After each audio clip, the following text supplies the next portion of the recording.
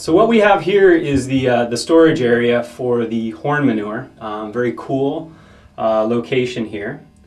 And with the horn manure, which we also call preparation number 500, we use a uh, female cow horn, which we then stuff with the manure into the horn, and then we bury right around um, autumn and let it set for roughly six months. So then we'll dig it back up right around the spring equinox when the day is right. And it's pretty amazing transformation because horn manure, um, with using manure as your starting material, we all know what that smells like.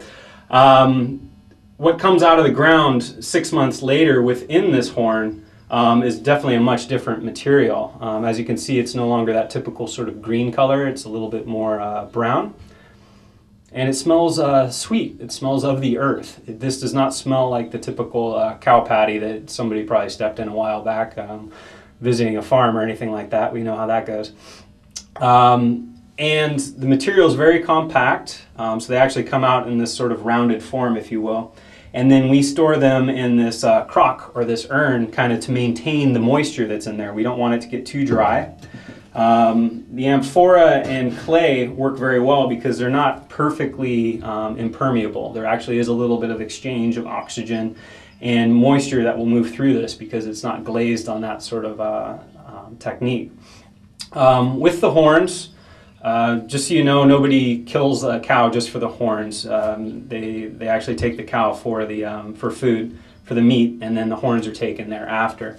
And they do need to be um, from female cow horns, and the way that you can actually tell that is by the, uh, the stress or the lactation rings that are on these horns on the outside. A bull horn will be much, much smoother. Whereas with these cow horns, you can actually see that there's some ridges going um, all the way around the horn.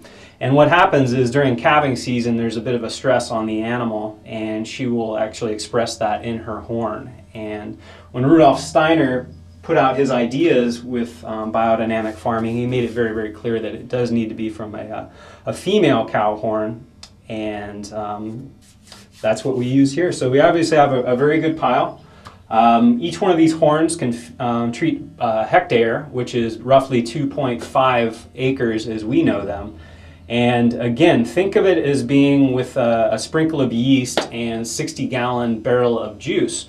Um, that yeast will actually transform that entire barrel into wine. So think of this as being kind of like a yeast for your for your soil, for activating the uh, the soil life forces, the vitality, and introducing some very um, powerful sort of um, catalysts to waking up the land to the uh, to the season. And so we actually apply this right around springtime or a little bit thereafter, right when the world is kind of waking up in our area. You think of uh, summertime as being a very active and awake time, and springtime as well when things are just sort of coming out of their sleep period, which is more or less the winter. And so um, that's uh, preparation number 500, the, the horn manure. And um, that's about it.